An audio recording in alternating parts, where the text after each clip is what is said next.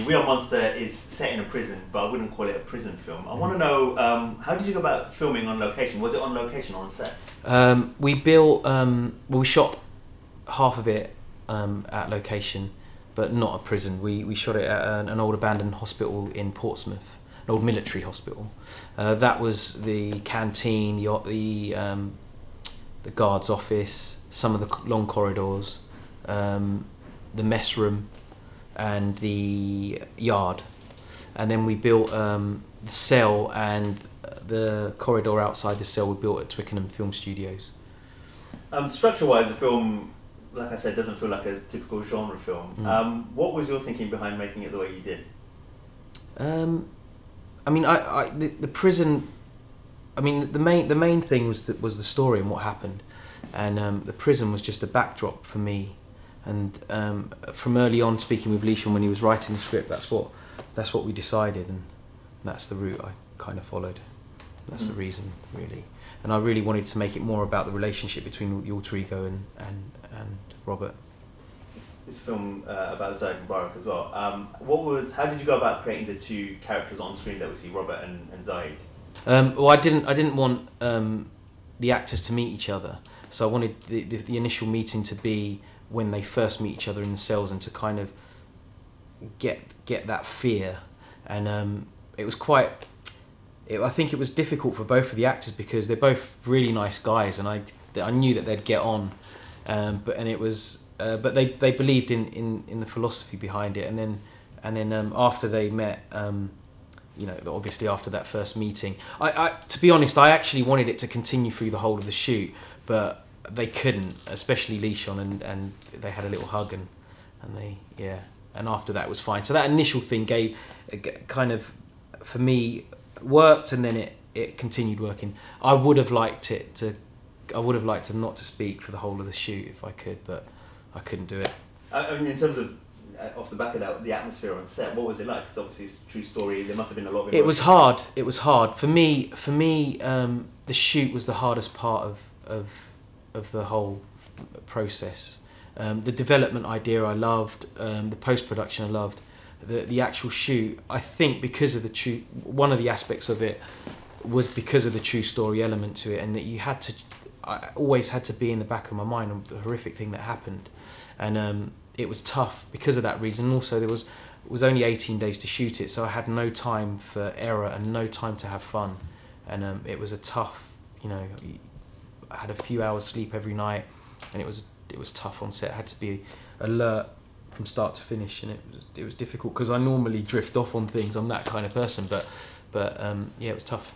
You- mentioned how tough it was. Did it affect you off screen as well, like when you were away from filming? Um, yeah, because I tend to take uh, yeah you take things like this home with you, and and um, I was constantly thinking about it, and and yeah, I mean, you have to constantly remind yourself about the the murder and what happened and what's and and that there's no there's there was no respite for me for that for that reason.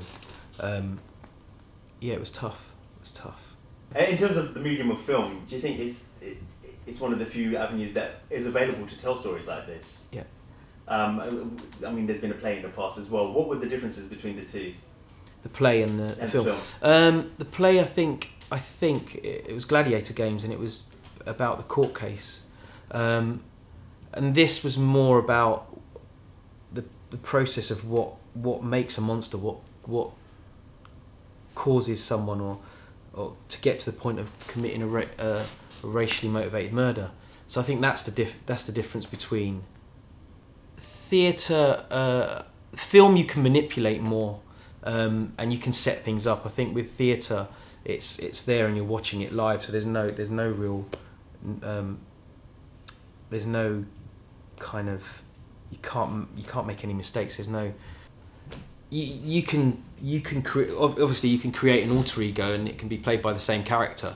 Whereas um, with with the theatre, I would have had to have got two actors, and I th- I think um, because of that reason, it's more believable played by the same person. Um, yeah, I think that's that's probably the difference. If if I had to shoot this as a theatre production, and yeah, I guess that's that's the difference. Mhm. It was filmed a while ago. Now, how's how has the process been for you since then? Um, it feels like it's been non-stop. I, I, I can't. I, I don't realise there's been. I think it's two years. I don't think it doesn't feel like there's been two years. It feels like I, I we were in pre-production a week ago because it's there's constantly stuff that we're doing on it, is, and we're still doing on it. Like today's interview. Uh, and and what, what are your expectations for the film's release? And what, what kind of message do you want audiences to take away from it? I I guess that uh, we want to want to bring the, the story back into the pu- input into public awareness, and um and where we want to support uh, the um, the foundation, and um and we you know we want we don't want this story to die because it has it has taken a back seat and it and it did make um front front news headlines and it's kind of quickly been forgotten. So ultimately, I want this um, this story to be back in, in public awareness and and also to kind of um, put me and Leeshon, on the map as well um, as producers, directors, actors. What your influences are, like some of your favourite directors and some of your Um, favourite films as well. Directors, I like you know the greats like Kubrick, uh, Hitchcock, um, Eastwood. Um, modern guys, I like um, Steve McQueen.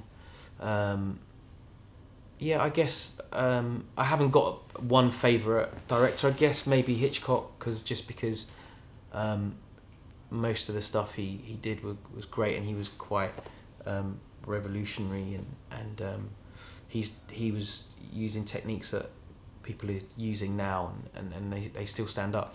Um, but yeah, I guess yeah, I guess he's my favourite. But then I, I, I the rest, you know, I like I like a lot of lot of different genres and styles. Was, was there a shot in it that? Because I thought there was a shot that reminded me of Hunger quite a lot. Was there a couple of shots in there? Um, I, uh, Hunger was an influence for us with in terms of a prison type movie. Um, I wanted to avoid um, things like Scum and um, Offender, and not not that they're not good films, but um, I, this this this wasn't a prison uh, one of those prison films. This was more about the murder and, and, and the and the conflict between you know Alter Ego and Stewart.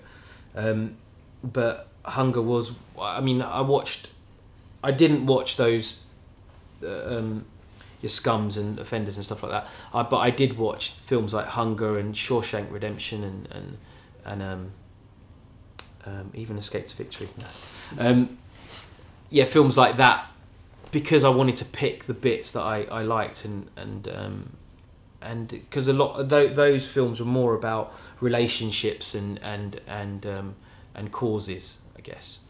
Um, and were there any shots that I picked from Hunger? Maybe the bit when Shah's smoking outside, but it's not the same shot. But it, I wanted to get that that when I when I when I watched Hunger and I watched that scene, it, it, it stuck in my in my mind a lot. And I think you know the, the prison guard was thinking about what he's going to do or what he had done, and I and I think Shah was thinking about what he could have done after that meeting, and that was for that reason.